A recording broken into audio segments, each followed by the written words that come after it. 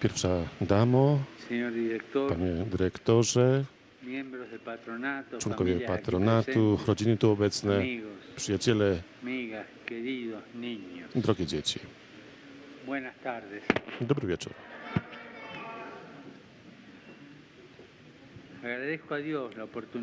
Dziękuję Bogu za to, że podarował mi tę możliwość przybycia w odwiedziny do Was. y Spotkanie się z Wami i Waszymi rodzinami w tym szpitalu. Dzielenia z Wami małej chwilki Waszego życia i wszystkich osób pracujących jako lekarze, pielęgniarki, członkowie personelu i wolontariusze, którzy Was doglądają. Tyle osób, tyle osób pracuje właśnie dla Was. Jest taki mały fragmencik w Ewangelii, który opowiada nam o życiu Jezusa, gdy był on dzieckiem. Był malutki, jak niektórzy z Was. Pewnego dnia y María jego rodzice, Józef i Maryja, przynieśli go do świątyni, aby ofiarować go Bogu. Pewnego dnia jego rodzice, Józef i Maryja, przynieśli go do świątyni, aby ofiarować go Bogu.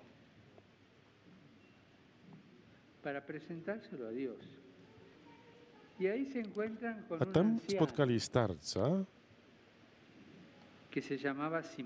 zwanego Symeonem, który gdy go zobaczył, zdecydowanie, z wielką radością i wdzięcznością wziął go w ramiona i zaczął błogosławić y Boga.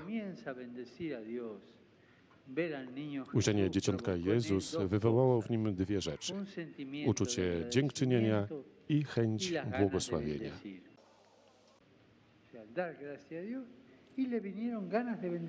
Chciał dziękować i chciał błogosławić. Simeón es el abuelo Symeon jest dziadkiem, który enseña uczy nas tych dwóch podstawowych rzeczy.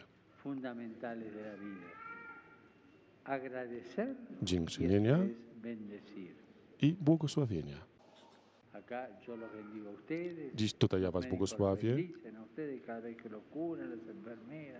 todo, todo el personal, todos los que trabajan lo bendicen. Błogosławię wszystkich tutaj obecnych.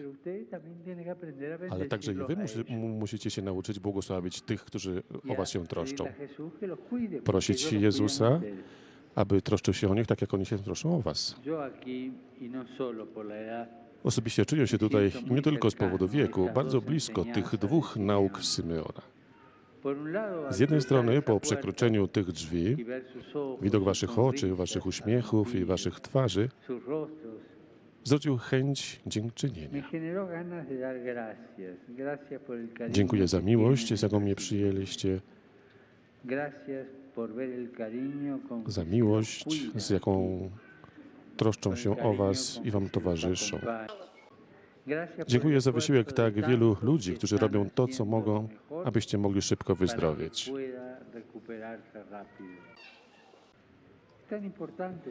Jak ważne jest poczuć, że się o Ciebie troszczą i towarzyszą Ci, że Cię kochają i wiedzieć, że ludzie szukają najlepszego sposobu troski o Ciebie. Dlatego wszystkim tym osobom mówię dziękuję.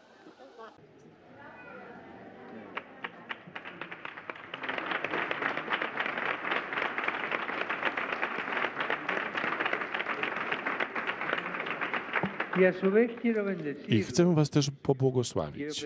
Chcę prosić Boga, aby Was pobłogosławił, aby towarzyszył Wam i Waszym rodzinom, wszystkim osobom, które pracują w tym domu i starają się, aby tych uśmiechów było z każdym dniem coraz więcej. Wszystkim osobom, które nie tylko lekarstwami, ale także za pomocą miłościoterapii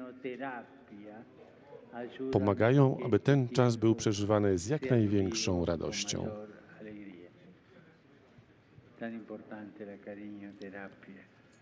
Tak bardzo ważna jest ta miłościoterapia.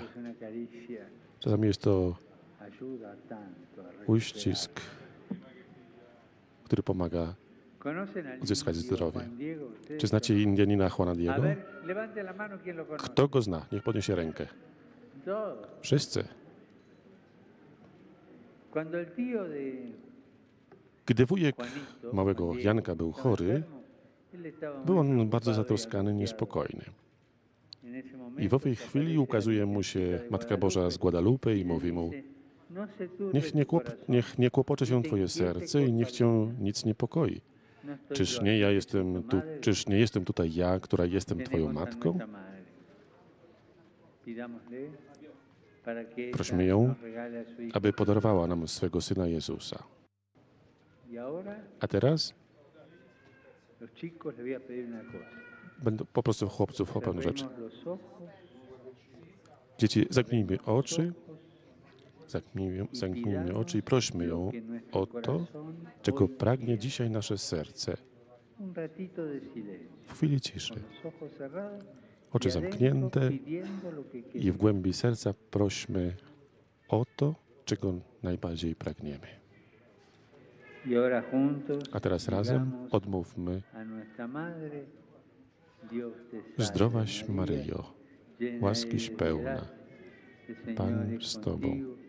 bendita tú eres entre todas las mujeres y bendito es el fruto de tu vientre Jesús. Święta Maryjo, Matko Boża.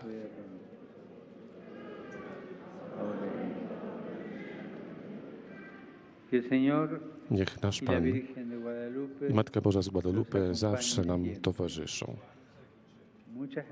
Dziękuję bardzo Y i proszę, nie zapominajcie modlić się za mnie. no. Niech Bóg Was błogosławi.